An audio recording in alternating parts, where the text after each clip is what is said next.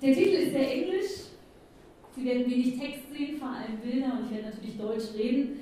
Ähm, Sie haben schon unglaublich viel über mich gehört. Vielleicht das, was noch neu ist. Ähm, wir sind ja heute hier unter uns, aber vielleicht kennen Sie das, dass Sie irgendwo im Raum sind und das Gefühl haben, Sie sind anders.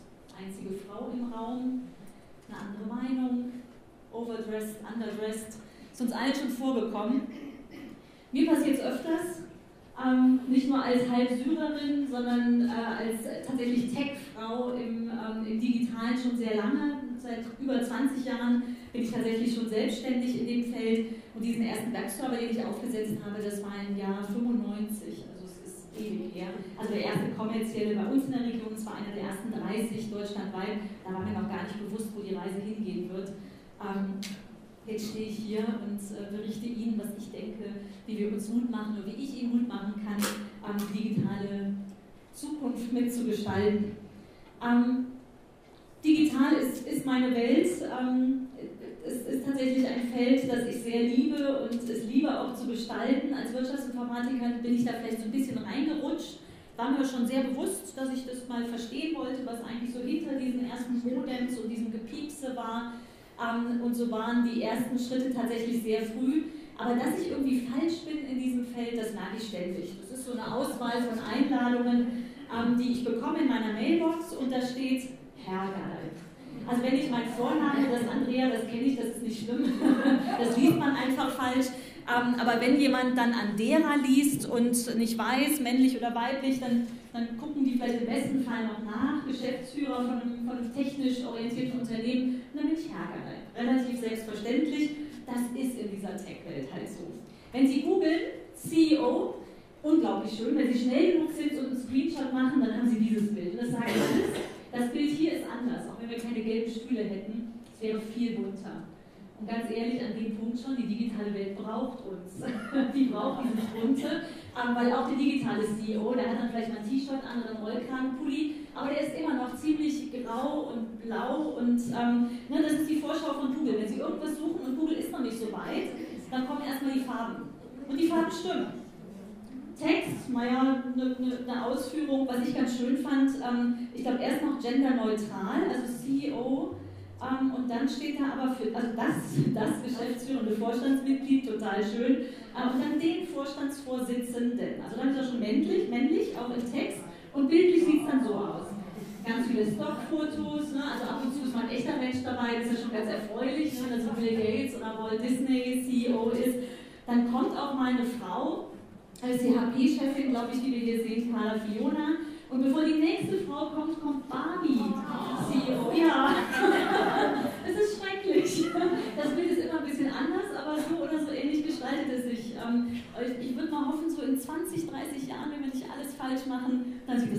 aus. Ich fürchte, in ein, zwei Jahren sind wir noch nicht so weit, aber wir arbeiten uns dahin. Ich nehme Sie so ein bisschen mit auf meine Reise. Ich habe Wirtschaftsinformatik studiert, haben wir eben schon gehört. Ähm, das ist die eigentlich weniger charmant herrliche in Aachen, wenn ich mir ihr Gebäude hier so angucke. Ähm, das ist außerhalb eines Vorlesungssaals. Da stand ich im Jahr 94 ähm, in der Pause einer, einer Wirtschaftsinformatik-Vorlesung mit einem Kommilitonen und der sagte mir, O-Ton, das finde ich ja ganz toll, dass du auch hier bist, Andrea, bei uns in der Vorlesung, weil Frauen können doch nicht logisch denken. Ohne Quatsch. In solchen Momenten bin ich so gar nicht schlagfertig, immer noch nicht, auch nicht 30 Jahre später, gefühlte 30 Jahre, das sind 20 oder so. ähm, ich hatte keine Worte, aber ich habe natürlich weitergemacht. Also ich habe mich davon nicht unterkriegen lassen, ähm, wie man sieht. Ähm, ich habe vielleicht auch in meinem Leben, dadurch, dass ich einen syrischen Vater habe und nicht so ganz deutsch groß geworden bin, war ich sowieso in diesen verschiedenen Kulturen und auch mit ein paar Herausforderungen konfrontiert, sodass das eher eine kleinere war im Lebensweg. Meine Mutter ist beispielsweise sehr früh gestorben, als ich 16 Jahre war und ich musste sozusagen meinen eigenen Weg wählen, was sicher auch ein Grund ist, warum ich dann, oder ein Grund, zumindest ein Hintergrund, warum es mir vielleicht leichter fiel, Unternehmerin zu werden, weil ich schon recht früh geschaut habe, dass, dass ich zurechtkomme. Ähm, das hier war so ein kurzer Tiefschlag, wo ich dachte so, nee, wie bitte? Nicht mit mir, ich mache das weiter. Zum Lebensweg haben wir schon einiges gehört, deswegen mache ich das ähm, äh, ganz kurz. Ich habe zweimal in den USA gelebt, ähm, das erste Mal so nach dem Studium, äh, nach, der, nach dem Abitur, vorm Studium, ähm, weil ich irgendwie nicht so richtig wusste, was ich studieren soll. Also ich wollte Design machen und dann musste man aber Mappe machen und das klappte irgendwie nicht so richtig. Und ich hatte ein bisschen Sorge, dass Design dann, dass ich vielleicht mein Hobby zum Beruf mache und es nicht mehr mag. Dann bin ich erstmal in die USA gegangen und habe das erste Mal gelernt, wie anders man dort tickt ähm, und wie sehr man auf die Chancenseite schaut und weniger auf die Risiken. Ähm, das Ganze habe ich dann noch ein zweites Mal gemacht zum Ende des Studiums. Ich habe mein Studium dort abgeschlossen und saß dann in so einem Virtual Reality Lab, ähm, habe da meine Diplomarbeit geschrieben. Da ging es eigentlich um eine erste Marktforschung und eine Analyse. Da hatte ich aber die Möglichkeit, Analysen tatsächlich mit so Bergen statt Balkendiagrammen zu machen. Und hinter mir wurde der Physikunterricht der Zukunft erfunden. Das war 1996, also ähm, irre früh. Ähm, auch da war mir klar, ich kam an in den, in den USA, hatte eine Gastfamilie, bei der ich gewohnt habe. Die haben mich dann rumgeführt. Das war so eine klassische äh, amerikanische Vorstadt, äh, Idylle, eine Neighborhood, ähm, Nachbarschaft, wo man sich gegenseitig vorstellt, damit man weiß, äh, wer ist denn als Fremdes ähm, unterwegs. Und dann machte eine ältere Dame, das war dann so Tür 4 oder 5, ähm, meine Gastfamilie mich rumführte, eine ältere Dame, die Haustüre auf und ich wurde vorgestellt, dass ich jetzt also ein paar Monate dort leben würde. Ich setzte an zu erklären, das war das Jahr Anfang 96, ähm, ich erklärte, ich werde eine Diplomarbeit schreiben, da geht es um das Kaufverhalten der Deutschen und der Amerikaner im World Wide Web. Und in Deutschland war ich gewohnt, zu erklären, was das WWW denn ist. Die Dame, locker Mitte 60, sagte, ja, weiß ich, nutze ich. Da ich, okay. Ähm, ein großer Unterschied, wie, wie früh dort ähm, die digitale Technologie adaptiert wurde, auch wirklich in der Bevölkerung, also nicht nur in, ähm, in der wissenschaftlichen Forschung. Und dort habe ich dann einige Monate verbracht. Es war tatsächlich sehr prägend, auch nochmal das, äh, das Leben auf der wissenschaftlichen Seite und diesem Virtual Reality Lab, einfach zu sehen, was möglich ist. Und diese erste eigene Umfrage, die ich damals programmiert habe, hat mich dann tatsächlich motiviert, zurückzukommen und nicht in ein Trainee-Programm zu gehen äh, bei IKEA oder Unilever, was ich mir auch schon mal so ausgemalt hatte, sondern ein eigenes Unternehmen zu gründen. Ich habe dann noch ein paar Monate gebraucht. Ich habe 99 mitten eigentlich in der, der Dotcom-Blase, wie es dann am Ende so 2000, 2001 klar wurde, mein erstes Unternehmen gegründet. Wir haben eben schon gehört, ich habe äh, bin verheiratet, habe drei Kinder, unseren Hund habe ich mal mitgebracht. Und die drei Kinder, die streiten sich tatsächlich auch manchmal am Frühstückstisch darüber, wer welche Firma kriegt. Weiß nicht, ob ihr das ernst meint. Wenn ich jetzt mal ernst mache, mein Ältester ist 14 und ich sage so, du bist jetzt 14, du kannst jetzt einen Nebenjob machen, offiziell. Möchtest du nicht ein bisschen Taschengeld dazu verdienen? Ich finde schon einen Job für dich und ist dann auch ein bisschen bequem. also wir arbeiten noch dran, aber ich habe auch noch ein bisschen. Ähm, das sind die drei Firmen oben rechts. Äh, das ist die erste aus 99, Dialego wir machen ähm, der Online-Marktforschung, so sind wir gestartet. Heute definieren wir uns als Chancenfinder, also wir suchen, welche, ähm, welche Geschäftsfelder Unternehmen für sich entwickeln können, und das sowohl im realen Feld, also äh, das geht von Schokolade bis hin zu Elektroauto, ähm, wie auch im digitalen und das Thema Marke ist was wir ganz gut können. Das auch international. Also dadurch, dass wir Witz und Bytes, unter, Witz und Bytes unterwegs sind, können wir global arbeiten. Also wir machen das für Bayer beispielsweise im Bereich Marke, die betreuen wir schon seit einigen Jahren, also der Bayer-Welt erklären, ähm, wie die Menschen über die Marke Bayer denkt. Und ähm, das machen wir auch in Jordanien oder äh, in äh, Südafrika. Also wir können es eigentlich überall, wo wir Menschen digital erreichen, können wir solche Endverbraucherumfragen durchführen ganz spannend. Das zweite ist unten rechts Smartbank, das ist im Prinzip die Softwareabteilung, die ich ausgegründet habe. Wir haben festgestellt, wir können da einiges ganz gut im Bereich Software zum äh, Verstehen des, äh, des Kunden und haben das dann als Software-Company ausgegründet. Tatsächlich die ersten großen Kunden kamen aus den USA. Größte Akzeptanz für diese Technologien, da geht es auch um künstliche Intelligenz und ähm, schnelles Analysieren von Texten beispielsweise. Ähm, ist in Deutschland noch nicht so viel Nachfrage zu verzeichnen, aber ich gebe die Hoffnung nicht auf. Und das dritte, das kleinste, da sind wir zu zweit, ähm, das ist eine Online-Tierheilpraxis. Das ist Let's Balance, ähm, wo wir tatsächlich über das Internet ähm, äh, Tiere betreuen. Zwar werden uns Haare geschickt, wir analysieren die mit einem Energiemedizingerät und schicken dann individualisierte Medizin zurück. Geht auch nur durchs Internet. Also wir sind tatsächlich äh, deutschlandweit aktiv, im deutschsprachigen Raum, bisschen über die Grenzen hinweg.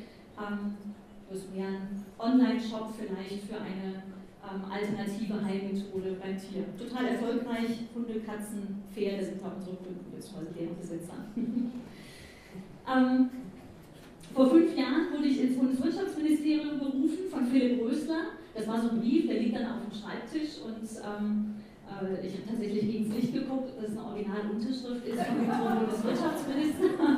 da stand dann drin, äh, ne, wir berufen Sie, da kann man eigentlich auch nur Ja und Nein sagen, also das ist keine Frage. Ähm, wir berufen Sie in den Beirat Junge Digitale Wirtschaft äh, was mich natürlich total ehrte und ich habe sehr gerne Ja gesagt. Inzwischen ähm, ist das die dritte, aktuell noch Wirtschaftsministerin. Habe gerade gehört, demnächst kommt Altmaier bin gespannt. Ähm, aber es ist schon interessant, dass man in knapp fünf Jahren drei Wirtschaftsminister erleben darf. Das war mir vorher auch nicht bewusst, dass das so Takt ist in den Ministerien. Und unsere Aufgabe dort ist, recht frei, wirklich so aus der persönlichen Erfahrung heraus, ähm, den Wirtschaftsminister zu beraten, was passieren muss, damit die Digitalisierung in Deutschland vorangeht. Komplett frei. Es kann jedes Feld sein, was wir vorschlagen und ich zeige Ihnen gleich ein paar Initiativen, ähm, die ich aus diesem Beirat heraus gestartet habe. Das war ein Treffen mit der Ministerin, ähm, achso, vielleicht eine kleine Anekdote am Rande, Mann, Frau. Ähm, äh, mit dem äh, BITMI, dem Bundesverband IT-Mittelstand, dort haben wir ein äh, Fördermittel gerade im ähm, Dezember erhalten, um ein äh, Mittelstandszentrum zu eröffnen an fünf Standorten, Standorten und dem Mittelstand zu helfen ähm, in Sachen Digitalisierung. Nächste Woche gibt es ein weiteres Treffen mit der Ministerin. Von dem Termin habe ich aber ziemlich spät erfahren, also den Herren Mitvorstand war es wichtig, das zu organisieren. Die meinen das nicht böse. Die hatten mich vergessen. Das macht mich sauer. Das habe ich dann meinem netten Kollegen nebenan auch geschrieben und gesagt, wenn ihr so einen Termin vereinbart, dann sagt mir doch Bescheid. Mein Kalender ist jetzt nicht komplett frei. Ich kann nicht sagen, ich komme mal eben rübergeflogen nach Berlin. Ähm, also diese Themen sind nicht erledigt, wenn man ähm, schon ein paar Unternehmen gegründet hat und einiges erlebt hat. Sie kennen das wahrscheinlich. Ähm, das äh, ist ein Abenteuer. Also die Mann-Frau-Thematik, da komme ich auch gleich noch zu. Äh, ich glaube, da braucht es auch Mut machen. Aber zunächst möchte ich Sie mitnehmen auf eine Reise ins Jahr 2030. Wir beamen uns ein paar Jahre vorweg und sind am Abend müde, nehmen das Handy in die Hand und heizen unsere Matratze vor. Wir wollen gleich schlafen gehen, das kann ich mir sehr gut vorstellen. Im Moment hätte ich das auch ganz gerne. Die Matratze misst unseren Schlaf, bekommt mit, wenn wir wach werden und äh, sendet rechtzeitig ein Signal an die Kaffeemaschine in die Küche. Die weiß natürlich, welchen Kaffee ich um die Uhrzeit gerne mag. Wenn ich dann aus, der, aus dem Badezimmer in die Küche äh, getrottet komme, dann wartet dort äh, der heiße Cappuccino auf mich. Nur Kaffee reicht nicht. Ähm, ich muss auch zusehen, dass ich genug Flüssigkeit zu mir nehme. Äh, das ist die intelligente Flasche. Die Tag über, wie viel ich trinke, erinnert mich ähm, auf mein Handy, wenn es nicht genug ist. Die blinkt sogar lustig. Ich nutze dieses Gerät inzwischen, das gibt es tatsächlich. ähm, die blinkt auch lustig, ist immer ein Highlight in, äh, in Meetings, wenn die, die Trinkflasche. Und das, was wir zu uns nehmen, das muss auch raus. Das ist die intelligente Toilette, typischerweise aus dem asiatischen Markt. Die misst ähm, Parameter unserer Gesundheit aus dem Urin, die misst auch den Blutdruck und sendet es an den Arzt, wenn wir möchten. Ähm, der Arzt meldet sich dann bei uns, wenn er etwas Auffälliges findet. Wenn ich auf Reise gehe, dann muss ich nicht mehr durchs Haus laufen, sondern ich nehme wieder nur mein Handy in die Hand. Ähm, ich chatte mit meinen Haushaltsgeräten. Der Kühlschrank sagt, ich habe hier einen Stromsparmodus, soll ich den für dich anschalten? Ich äh, schicke ein OK zurück. Der Kühlschrank wünscht mir noch einen schönen Urlaub und ich kann das Haus verlassen. Vor der Tür wartet dieses autonome Auto auf mich. Ich muss mich nicht mehr hinter das Steuer setzen, sondern nehme Platz in einem der bequemen Sessel. Und ähm, das Auto weiß natürlich schon, wo ich hin möchte. Und es fährt mich zu meinem Zielort. An der Seite kann ich mich währenddessen unterhalten lassen oder die aktuellen Nachrichten lesen, weil rundherum sind Bildschirme zu meiner Verfügung. Wie fühlt sich das an? Gut. Hm. Also ein paar sitzen schon in der Zeitmaschine und ein paar sagen, ja, ich weiß noch nicht, ob ich aufs Jahr 2030 äh, drücken soll. Die Haltung ist tendenziell eher, ah, Moment. nicht so schnell. Ähm, und das ist auch ganz spannend, was es mit uns macht. Ich habe gesagt, Digital Life rocks, deswegen nehme ich Sie einmal mit in das, was uns unser Leben ausmacht und warum ich glaube, dass gerade das digitale Leben sehr rockig sein kann. Ähm, und werde sie dann mit an die Hand nehmen und äh, von hier sozusagen äh, mutmachend in die Zukunft führen, wo ich denke, wo wir alle anpacken können. Worum geht es im Leben? Aus meiner Sicht geht es sehr stark darum, ähm, etwas zu sehen. Sei es, dass wir, dass wir Kinder haben, die wir, die wir großziehen oder äh, Ideen, unsere eigenen Ideen verwirklichen, im Job äh, Ziele verfolgen, ähm, ein sportliches Ziel haben. Wir, wir säen eine Idee und verfolgen diese. Und als ich angefangen habe ähm, in diesem Beirat vor fünf Jahren, da habe ich relativ schnell, interessanterweise auch am Weltfrauentag, also heute vor fünf Jahren, ähm, habe ich mit dem Bundeswirtschaftsministerium telefoniert, weil ich ihnen gesagt habe, Leute, hier läuft was falsch. Mir war nämlich bewusst geworden, da ging es um eine, um eine Delegationsreise in Silicon Valley mit Philipp Rösler und es hieß, es gibt ein Auswahlverfahren.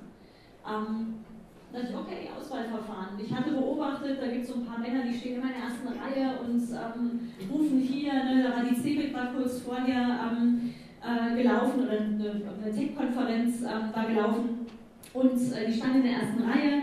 Ähm, ich dachte, Mensch, weil ich hatte das Gefühl, ich möchte jetzt lieber rausgehen, mir ist es peinlich, wenn sich ja alle in Pose bringen und in der ersten Reihe rufen. Ähm, also habe ich mit dem Verantwortlichen im Bundeswirtschaftsministerium telefoniert und habe gesagt, äh, Leute, wenn ihr jetzt diese Reise in Silicon Valley macht, seht zu, dass ihr nicht nur Männer im Flieger habt.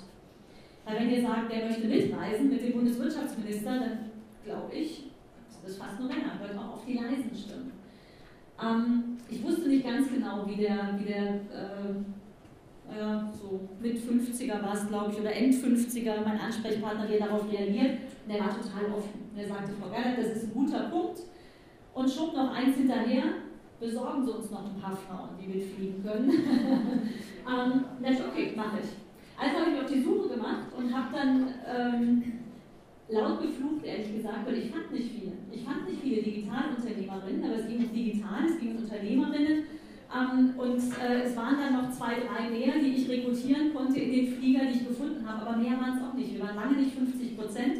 Ich habe immerhin nur knapp 20 oder so, es war eine kleine Gruppe, ich glaube 50 Leute und 8 Frauen oder so.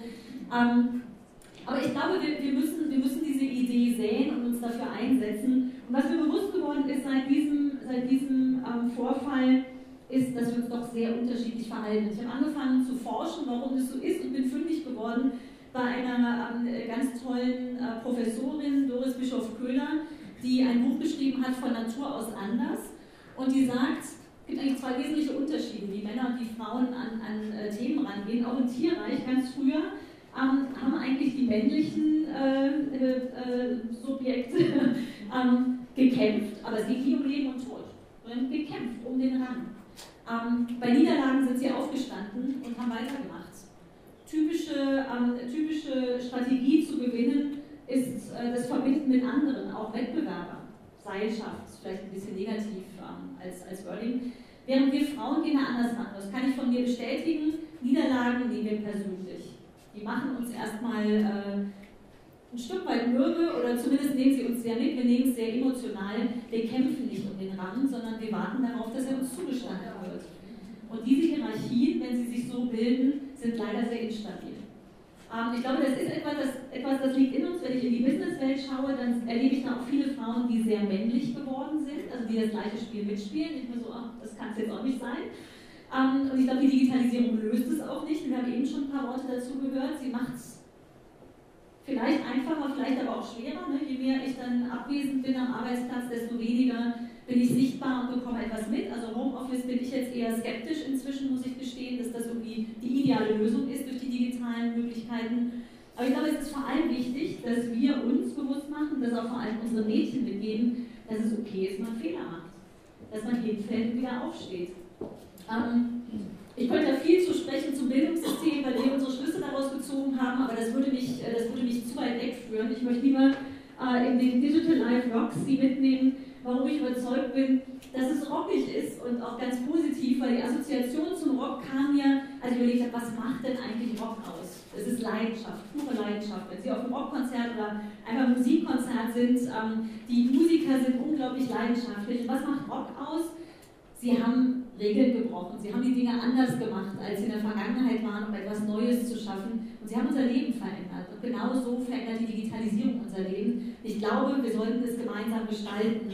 Ähm, vielleicht etwas wie ein Anti-Establishment, wie es bei Woodstock ähm, äh, damals war, kann ich mir vorstellen, was 69 die langen Haare bei Männern waren, ist heute wahrscheinlich eher das Smartphone. Also es regt auf, es ist nützlich, aber es regt auch auf. Ähm, und die Frage ist, wie, wie, wie können wir das in etwas Positives gestalten und diesen Generationengap, den wir auch haben, diese Differenz zwischen Generationen, dem so gar nicht verstehen, warum das jetzt gut ist ähm, und dem, dem, dem vollkommenen Hingeben. Also mit drei Kindern kann ich, äh, kennen Sie wahrscheinlich auch dieses vollkommene Hingeben, nur bestätigen. Ähm, wie kommen wir dahin? Wie, wie gestalten wir diese Reise ins Jahr 2030? Und zwar so, dass, es, dass uns die Welt da gefällt, dass sie, dass sie in einer Art und Weise gestaltet ist, wie wir sagen, ja, da, da ist die Digitalisierung ähm, richtig, für mich richtig. Es ist nicht allzu lange her, da hat ähm, unsere Kanzlerin gesagt, das ist jetzt fünf Jahre, 2013 war das, das Internet ist Neuland für uns. Und sie wurde unglaublich belacht in der Digitalszene, was ich total falsch finde. Ähm, ich glaube, dass es tatsächlich Neuland ist für die meisten von uns ähm, und äh, selbst auch für die Kinder. Das passive Daddeln betrachte ich nicht als digitales Gestalten. Das, das ist ein großer Unterschied. Ähm, und ein Großteil von Unternehmensführern packt das Thema auch bis heute nicht aktiv an. Die Statistiken dazu sind verheerend. Warum ist das so? Weil es so unglaublich schnell geht. Wir hatten kürzlich noch einen, ähm, einen Bankvorstand, äh, als ich gerade rausging nach einem guten Gespräch, sagte der Gallert, ich habe das Gefühl, das ist wie so ein Schnellzug, der an mir vorbeirauscht, die Digitalisierung. Und ich bin nicht sicher, ob ich dann auch den Fuß reinbekomme in die Tür. Ähm, es ist die, Wahr die, die, Wahrnehmung, die unglaublich viele haben. Es sind unglaublich viele negative Emotionen auch damit verbunden. Also es könnte an einem vorbeirauschen. Ähm, und diese Veränderung, ähm, diese, diese Angst, die besteht, ist vielleicht zunächst mal schwierig. Ähm, aber als wir Neandertaler waren, haben wir uns eigentlich da auch in die Höhle zurückgezogen, als der Sturm draußen aufbrach. Also so ganz, ganz äh, neu ist es eigentlich nicht. Wenn Unsicherheit auftritt, dann ziehen wir uns erstmal zurück als Menschen ich habe kürzlich Vladimir Klitschko erlebt, das war im Dezember auf einer Veranstaltung, der stand auf der Bühne und hat etwas ganz Starkes gesagt, wie ich fand. Er hat gesagt, wenn ich in den, Boxring, in den Boxring gegangen bin, habe ich auch immer Angst gehabt. Aber ich habe immer gesagt, ich darf nicht feige sein. Ich glaube, das, das, ist, das ist ein gutes Bild, sich bewusst zu sein, dass, dass einem das ruhig Angst machen darf, dass es alles so schnell geht und so ungewiss, man auch nicht alles versteht, was da passiert. Ähm, aber dass man, dass man nicht feige sein will. Ich glaube, das Wichtigste ist, dass man sich daran macht, die Zukunft aktiv zu gestalten.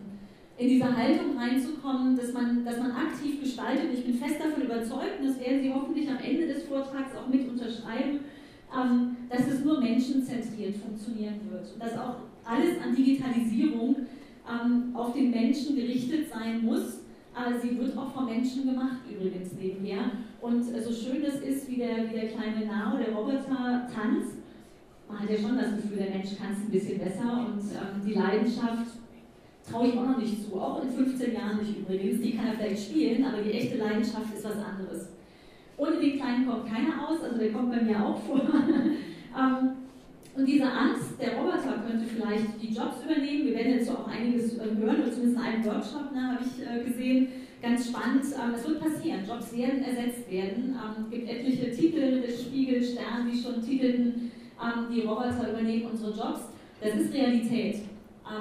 dass es passieren wird, dort, wo, wo viele Routinetätigkeiten anstehen und immer wieder wiederhol sich wiederholende Aufgaben ausgeführt werden. Aber es gibt Fähigkeiten des Menschen, von denen ich fest überzeugt bin, dass die eben nicht automatisierbar sind. Und wir schreiben selbst Algorithmen. Also ich bin, mache sozusagen die Algorithmen der künstlichen Intelligenz.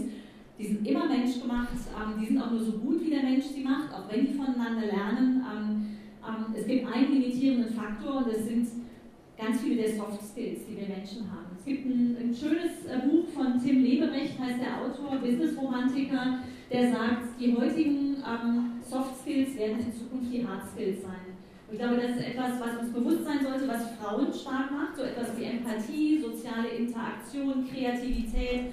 Das sind alles Fähigkeiten, die die Maschine auch auf lange Sicht nicht haben wird. Sie kann sie in gewissem Maße trainieren und sich auch selbst trainieren, aber auch Lernen beispielsweise ist etwas, was ähm, erwiesenermaßen besser funktioniert, wenn Menschen miteinander unterwegs sind. Das kann man kombinieren, indem man vielleicht noch, es gibt ja ganz viele Online-Kurse inzwischen, dass man sich einige Fähigkeiten auch inzwischen überall auf der Welt äh, online draufpackt.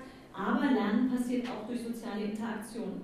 Beim Pflegeroboter, da bin ich persönlich ganz gespannt drauf, ähm, habe ich immer gesagt, der, Pflege, der Pflegeroboter wird keine wesentliche Bedeutung erlangen. Das kann man aber so, so pauschal nicht stehen lassen, weil ich habe es schon erlebt, irgendwie mehrere Monate mit meinem Vater und sehe dann, es ist eigentlich nicht anders als im Kindergarten, ganz viel Bürokratie und ganz wenig Zeit für den Menschen.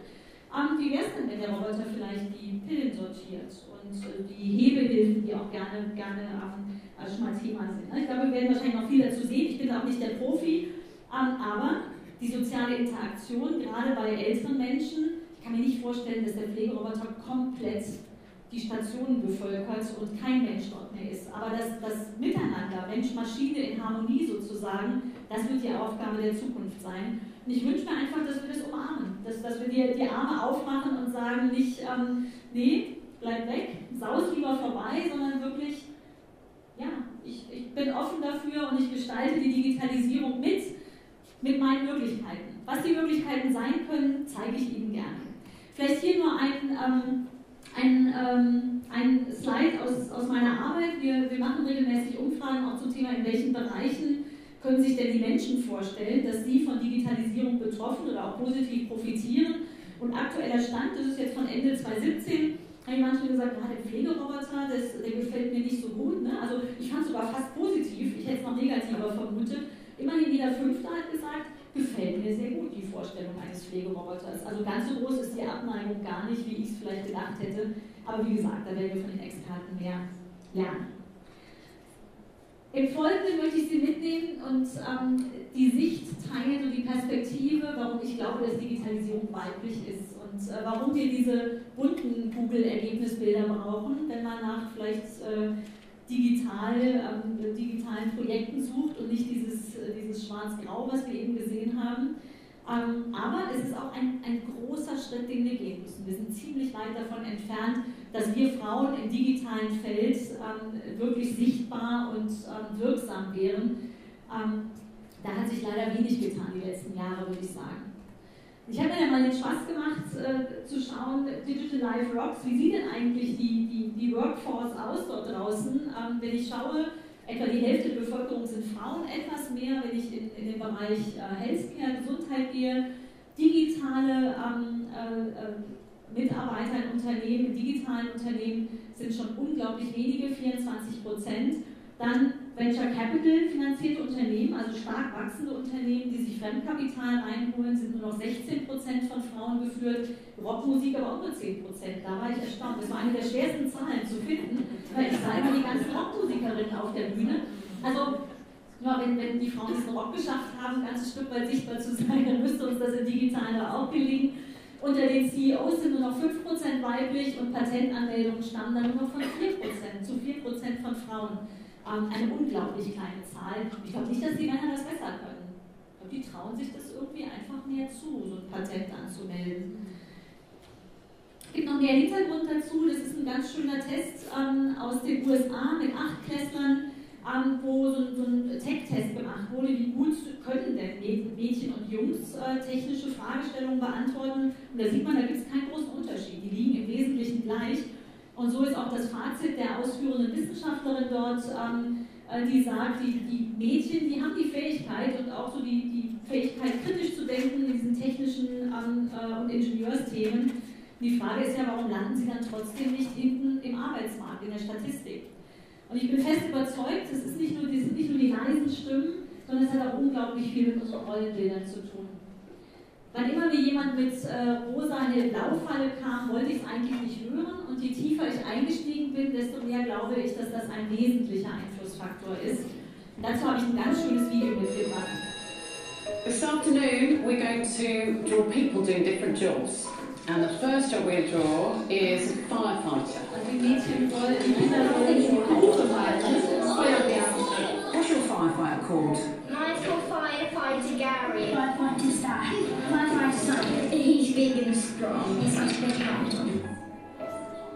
That's great, isn't it? Next we're going to draw a surgeon. Have you thought of a name for your surgeon? Jim Bob. He's a brain surgeon. I think he would wear a stethoscope. He gives you medicine. That's his ambulance.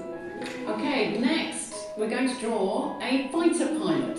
Yes, This is his jet plane. He rescues people.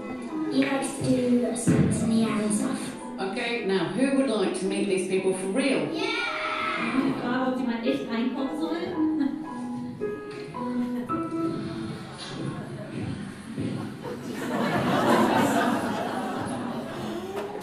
Faye, when you were dressed up. My name's Tamsin and I'm a surgeon in the NHS. My name's Lauren and I'm a pilot in the Royal Air Force. My name's Lucy. I'm a firefighter in the London Fire Brigade. So you want to say how to do an operation? From a stethoscope. There you go. No proper fight violence. It. Can you hear that? Yeah. It's really good. But yeah, it's not really like kids' mind.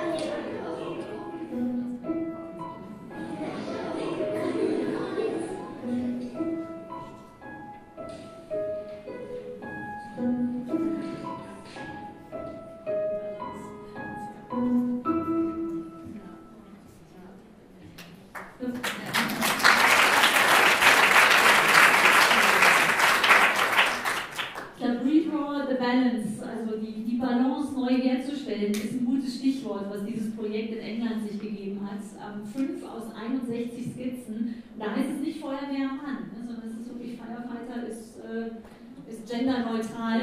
Ähm, ist ein ziemlich klares Bild und es deckt sich wahrscheinlich mit dem, was Sie erleben. Das heißt, wenn Sie selbst Kinder oder Enkelkinder haben, denen Sie noch Rollenbilder mitgeben können oder Sie zumindest motivieren können, ähm, sich den Beruf des Feuerwehrmanns anzugucken. Als Feuerwehrfrau tun sie es. Ähm, hier sind ein paar Initiativen, in denen ich involviert war oder die ich gestartet habe. Als Mutmacher zunächst das Thema Schule. Das kommt alles aus dem Beirat jetzt, Beirat Junge Digitale Wirtschaft, was den großen Vorteil hat, wenn wir Geld brauchen, dass es Anschubfinanzierung dann gibt ähm, vom Bund ähm, für gute Initiativen, die sich dann langfristig selber tragen sollen. Und eins davon ist beispielsweise dieses Projekt, wo ich äh, vor ach, drei oder vier Jahren inzwischen mit dem Frank Thelen war in Bonn. Frank Thelen kennen Sie vielleicht aus der Höhle der Löwen, da äh, ist er inzwischen bekannter, glaube ich. Ähm, und äh, wir haben einfach wir haben unseren Lebensweg erzählt, äh, den Schülern. Das waren Schüler in der ähm, 10., 11. Klasse, war das, glaube ich.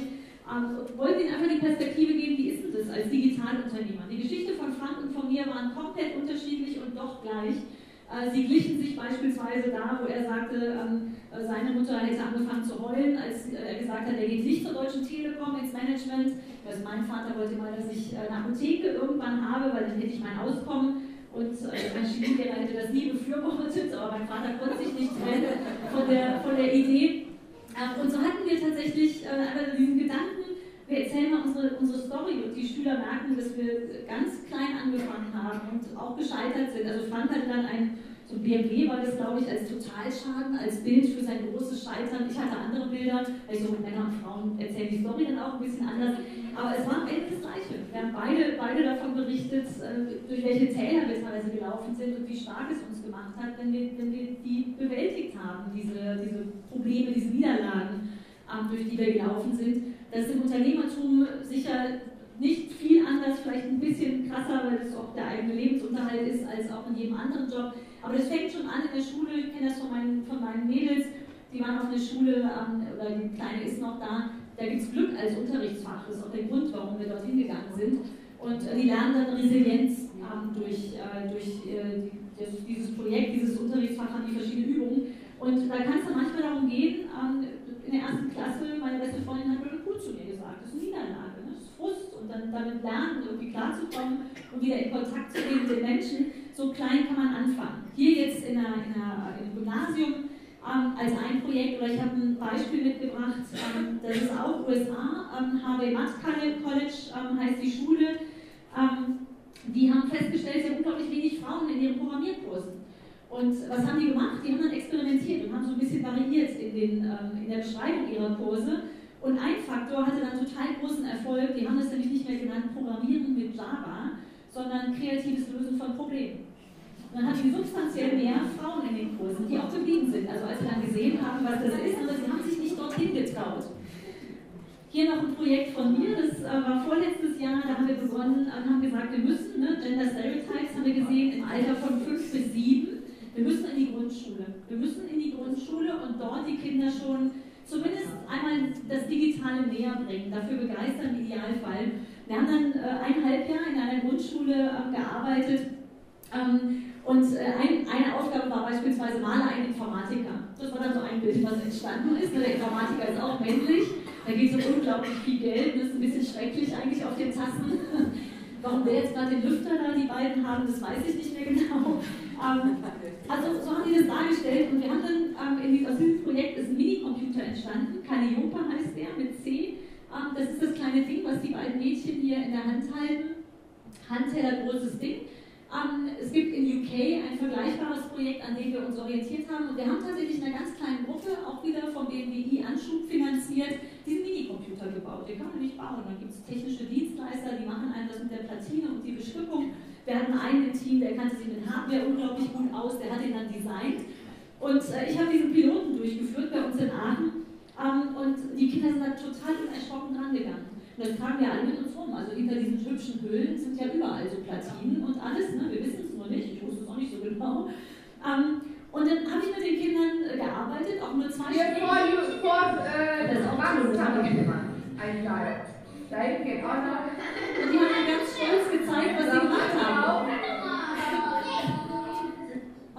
Ich stopp das mal, sonst sind die lauter als ich. ähm, haben, was haben wir gemacht? Also wir hatten diesen Minicomputer, den haben sie dann erstmal entdecken dürfen. Dann habe ich den Bastelmaterial mitgebracht. Das mache ich auch unglaublich gerne, Bastelmaterial kaufen und dann mit den Kindern basteln.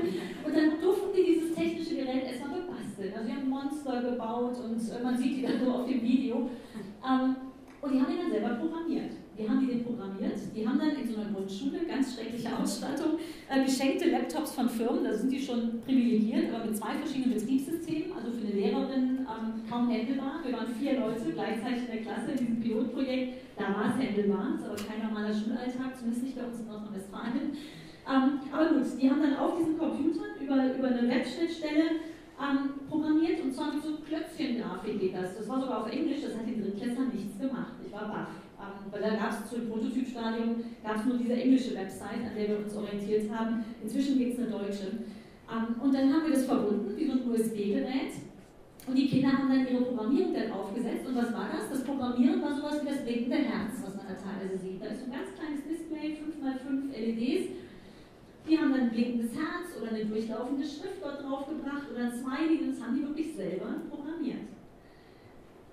Das ist ein wesentlicher Unterschied zu jedem Computerspiel. Den Calliope können Sie bei Amazon bestellen inzwischen, falls Sie es mal selbst probieren wollen. Also äh, auch für Sie, ist nicht nur für Drittklässler. Also bei denen finde ich, sollte man anfangen. Weil, ne, das Stereotype fünf bis sieben Jahre, also man muss in die Grundschule, ich könnte einen ganzen Vortrag darüber halten, was man erlebt, wenn man in die Ministerien geht und den, den Ministerien versucht zu erklären, dass man in die Grundschule möchte mit so einem Thema. Läuft auch immer noch, also ist noch nicht überall durch, aber es gibt erste Bundesländer, die es, ähm, es tatsächlich flächendeckend auch ähm, diesen Minicomputer eingeführt haben. Ähm, und hier ist, ich stelle Ihnen Emily vor, ähm, ein Kind, was in dieser Klasse war, Luxe hieß, hieß, äh, hieß die Klasse. Ähm, Emily war dann in den Sommerferien mit ihren Eltern in Italien und fuhr an diesem, an dieser, also Pizzeria mit so, mit so einem Pizzaschild, ne, so ein LED-Schild vorbei, ähm, was dampfte. Und Emily sagt zu ihrer Mutter, Mama, das kann ich auch programmieren. Und wenn Emily verstanden hat, dass sie das ist, was Einfaches vielleicht, ne, kann man sagen, ähm, wenn Emily das verstanden hat, dann programmiert Emily aber auch den autonomen Bus der Zukunft. Weil die hat verstanden, dass das auch nur Sensoren sind, die feststellen, ob da eine Bank ist, die stehen bleibt oder, oder ein Mensch, der sich bewegt. Die Sensoren kann man zukaufen.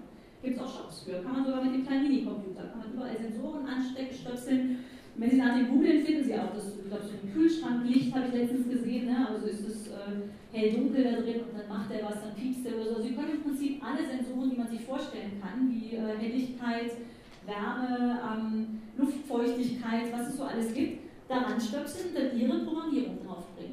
Können den autonomen Bus programmieren, wenn Sie, wenn Sie so klein anfangen, weil Sie trauen sich das dann zu. Und das war mir wichtig, dass die Kinder verstehen, ich kann das. Das ist der erste Schritt, ich kann das, ich traue mich das. Und selbst wenn das mal nicht so reagiert, ähm, wie es sollte, dann ist das ja auch nicht in die Luft gegangen. Dieser Minicomputer, dann war das Herz, hatte vielleicht eine Ecke weg, dann haben wir es mal neu aufgespielt. Also ich glaube, das ist ganz wichtig, spielerisch weil dann entstehen auch bei uns in Deutschland und vielleicht auch von deutlich größeren Teil Mädchen solche Technologien, dass der Bus eben verhindert, dass beispielsweise Unfälle mit, äh, mit Menschen oder auch natürlich äh, anderen Gegenständen passieren. Zum Abschluss ein Mutmacher ähm, im Sinne von Future Skills im Job. Ähm, und ich möchte einmal recht allgemein einsteigen mit einer Erkenntnis ähm, aus, aus meiner Arbeit äh, mit der ersten Company, wo wir nämlich ganz viele Innovationen begleiten. Ähm, und äh, ich habe 99 gegründet, das heißt, ich mache das jetzt fast 19 Jahre und in der Zeit haben wir 8000 Innovationen. Wirklich vom Schokoriegel, also Rittersport, alles, was Sie im Supermarkt von Rittersport sehen, läuft ähm, durch, unsere, durch unsere Verfahren, ähm, aber auch Elektroautos. Ähm, ist da alles drin? Wir haben analysiert, was macht denn eine Innovation erfolgreich? Sie werden gleich verstehen, warum ich Ihnen diese, diese Story erzähle. Ähm, es sind vier Faktoren, eigentlich drei plus eins, sagen wir mal, weil das letzte unten rechts ist ein ganz spezielles Tool von uns. Aber es ist ein relevanter Nutzen. Es muss zur Marke passen und jede Innovation hat ihre Zeit, auch jede digitale Innovation. Auch wenn das Digitale sehr schnell rauscht, es geht nicht zu jeder Zeit alles. Und warum erzähle ich Ihnen das? Erfolgreiche Produkte haben einen relevanten Nutzen. An der Stelle glaube ich, kommen wir Frauen ins Spiel. Weil ein relevanter Nutzen ist nicht immer nur funktional ist mal sehr schön, wenn ich mit Ingenieuren zusammensitze. Bei uns in Aachen gibt es eine ganz große Exzellenz in Sachen Elektromobilität. Also wir bauen da wirklich Elektroautos. Aachen wird jetzt Autobaustadt, hätte ich nicht geglaubt, ist aber so. Ähm, wir bauen jetzt beispielsweise an, an, den Technologien rund um den autonomen Bus mit. Das ist ein großes Projekt, was wir gerade seit Anfang des Jahres ähm, äh, machen, auch mit den Kollegen von der RWTH. Wenn man mit den Ingenieuren zusammensitzt, dann geht es auch um Reichweite und dann geht es um Beschleunigung und es gibt ganz viele, ganz viele Zahlen. Der Mensch tickt aber nicht so. Es geht auch emotionale Nutzen. Emotionaler Nutzen oder auch ein großer Gegenspieler bei Elektromobilität beispielsweise ist Reichweitenangst. Das ist eine Emotion. Ich glaube, dass Innovationen davon profitieren können, auch Innovationsprozesse im Unternehmen, wenn Frauen in diese Prozesse reinkommen und das deutlich machen. Ähm, wirklich so diese Soft-Skill-Seite, die wir naturgemäß vielleicht ein ganzes Stück weit besser ausgeprägt haben auch im Sinne der Rollenmodelle trainiert wurden, braucht die Wirtschaft da draußen und gerade diese hochtechnologisierte Wirtschaft aus meiner Sicht, die Digitalisierung. Warum ist Digitalisierung noch weiblich? Vielleicht hat der eine oder andere es mitbekommen. Ähm, vor einigen Jahren hat Apple ähm, eine Gesundheits-App gelauncht und äh, hat einen riesen Shitstorm hinnehmen müssen, weil die komplett den Zyklus der Frau vergessen hatten. Waren wahrscheinlich männliche Programmierer. Dann haben sie das eingebaut und haben es Reproduktionsmedizin genannt. Meine These, immer noch männliche Programmierer. ich wollte mal, gucken, ob es immer noch so heißt. Also das war jetzt vor ein paar Monaten, vielleicht haben es auch umgenannt, aber ich glaube nicht, dass mich schon mal jemand von Apple gehört hat. Ich habe ja noch nicht geschrieben, deswegen finde ich es unglaublich lustig. Also von mir aus könnte es auch so lassen. Ich glaube, also ist nur ein Beispiel. Ähm, und was ich glaube, was ganz elementar ist, wir brauchen Technologie nicht um der Technologie willen. Da komme ich zurück zu dem Punkt, ähm, der Mensch im Mittelpunkt. Ähm, es geht darum, dass die Technologie den Menschen dienen muss. Sie kann uns das Leben leichter machen. Wir können oftmals auch Angst haben, weil wir sagen, verdammt, der nimmt mir jetzt eine Aufgabe ab. Wenn man es dann versucht, rational zu betrachten, ist es vielleicht trotzdem richtig. Also die Angst müssen wir deswegen nicht ablegen. Aber es gibt ganz viel Technologie, die nur um der Technologie willen eingesetzt wird. Ich fürchte, das ist ein Problem unserer deutschen Autobauer. ähm, vor allem, wenn es um Elektromobilität oder das ist vielleicht noch ein eher politisches Thema, um autonomes Fahren geht, denn da fahren die Chinesen und die Amerikaner fahren den weg, wenn die nicht langsam schnackeln, ähm, dass es eben nicht mehr um die Details der deutschen Technologie geht. Aber ähm, das sehen wir beispielsweise auch im Bereich Virtual Reality. Ähm, ich habe einmal auf einer Konferenz erlebt, da war ein Vorraum, ganz große Handelsblattkonferenz, da ging es um die Zukunft von Banken und Sparkassen. Ähm, da war ein Vorraum, ähm, eine Vorstellung einer Virtual Reality Brille, wo man sich virtuell durch die, durch die Filiale bewegen konnte. Ziemlich nutzlos eigentlich, muss man sagen, weil da stellt man die Technologie, die Brille, zwischen den Menschen und den Beratern. Ähm, die macht vielleicht wieder Sinn, wenn ich äh, von zu Hause aus mein neues äh, IKEA-Bett in meine echte Umgebung einstellen kann. Kann ich aber vielleicht auch mit dem Handy. Also die Frage ist, wie viel Technologie brauche ich? Äh, wir sind gerade auf dem Weg einer sehr großen Technik, Technologie-Verliebtheit und da das richtige Maß zu finden, ähm, da vielleicht auch zu scheitern, mit zu viel Technologie, den Weg aber dann auch nicht mehr zu gehen, ähm, sondern äh, abzubiegen und in einen etwas menschlicheren oder zum Menschen besser passenden glaube, dass wir Frauen da eine große Rolle spielen können. Ähm, das kann Unternehmen auch eine Menge Zeit und Geld sparen, wenn, sie das ernst nehmen. Und auch nicht der Technologie willen, sondern auch bewusst äh, mit Haltung und mit, mit Benefit, so habe ich sie genannt. Also wir müssen uns nicht alle pinke Haare.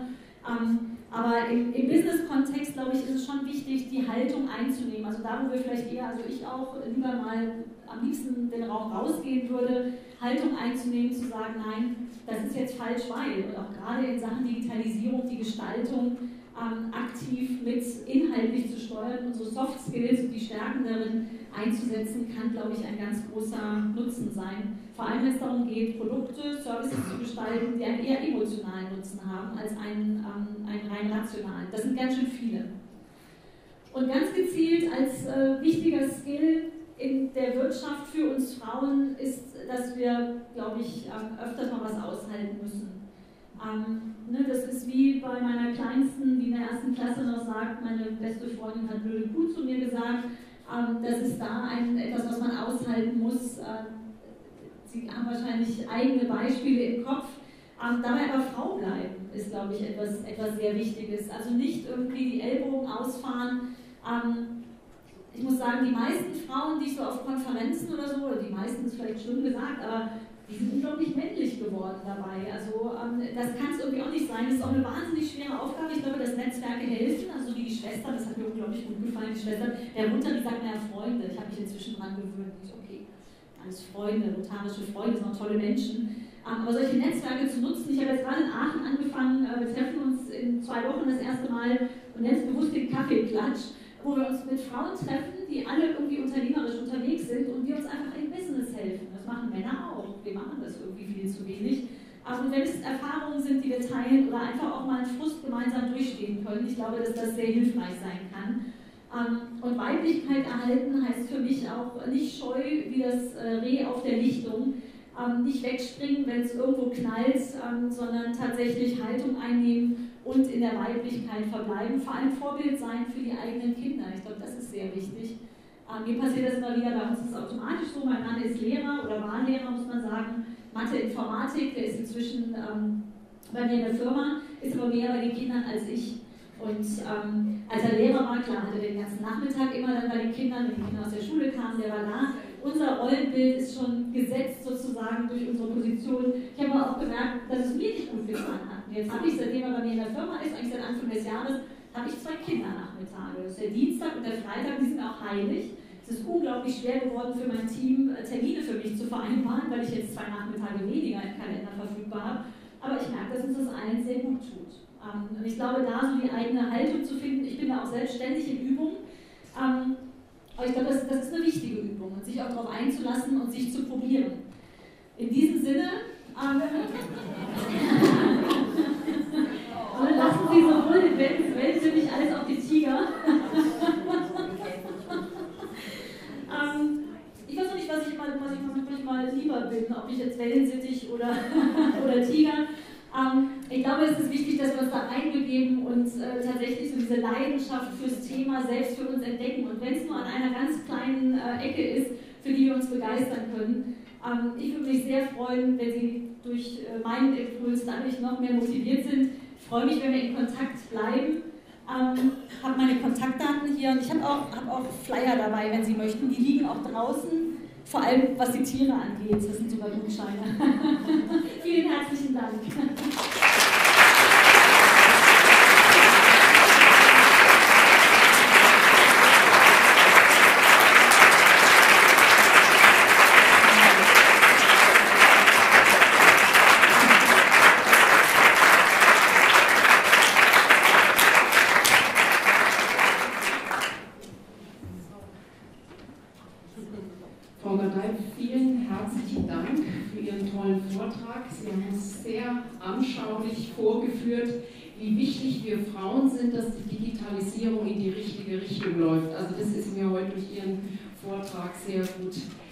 Geworden. Und wir möchten uns bei Ihnen bei, mit einem kleinen Geschenk bedanken, denn wir sind der Meinung, dass Sie unserer Veranstaltung, den Bitston Byte, heute die richtige Würze gegeben haben und deshalb etwas, was auch in Ihrem Leben etwas Würze dann in die Speisen äh, hineinbringt. Vielen Dank und wir würden uns sehr freuen, wenn Sie uns sich hier noch bei unserem Networking und bei unseren ähm, Workshops mit anschließen würden. Vielen herzlichen Dank. Danke.